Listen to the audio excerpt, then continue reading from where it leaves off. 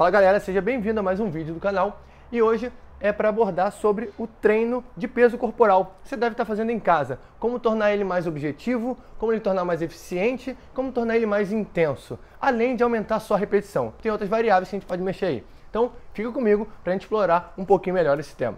Primeiro de tudo, você tem que ter um objetivo. Qual o objetivo que você está buscando com o treino que você está fazendo. Não que seja errado você fazer 100 repetições de agachamento, 100 repetições de flexões, 100 repetições de barra, mas vai muito além de apenas explorar a quantidade de repetição. Se a gente for analisar a questão de número de repetição e como ele vai determinar o, estímulo no seu corpo, a gente pode ir naquele padrão básico repetições curtas para trabalhar força pura, de 3 a 5 repetições, com maior número de séries. Hipertrofia fica aí de 5 a 12, e tudo que passa de 12, 15 seria para resistência muscular. Então, se você está buscando uma hipertrofia, não faz muito sentido você fazer 100 agachamentos, 100 flexões. Não é só um número. Você pode mudar algumas coisas para tornar o seu treino mais eficiente, além de aumentar apenas o número de repetição. Quando você aumenta apenas a quantidade de repetições de um exercício, você está aumentando o volume dentro da sessão de treinamento.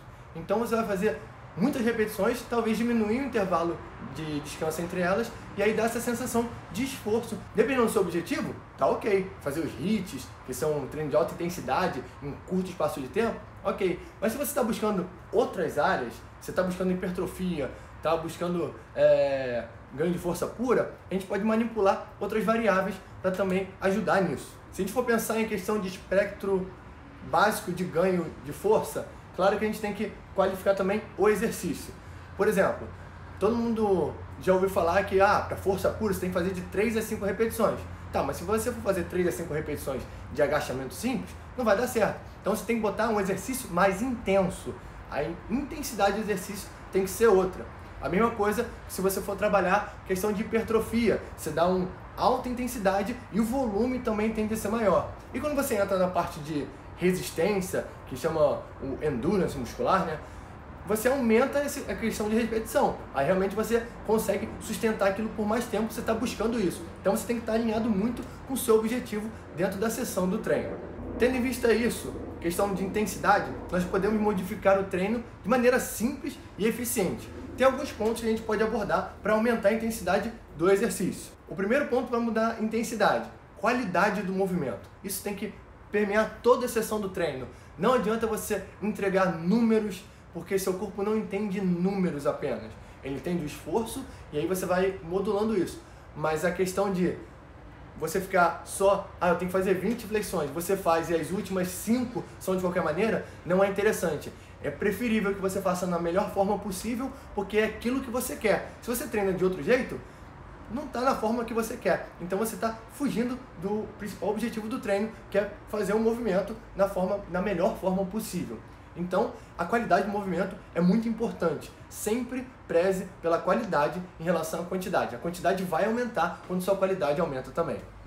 Um ponto que você pode também mudar para melhorar o seu treino, aumentar a intensidade, é fazer ele por tempo, quando você coloca o tempo dentro da jogada.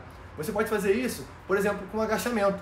Quando você está agachando, simples, está agachando, ou ainda você está fazendo uma flexão, e aí, em vez de apenas você descer no tempo de 1 para 1, você pode descer em um tempo que você determina, quanto mais lento tende a ser pior que você deixa o músculo sob tensão. Então você pode descer em 4 segundos, e subir. Desce em 4, sobe. Você pode acrescentar também a pausa, que também entra a questão do tempo.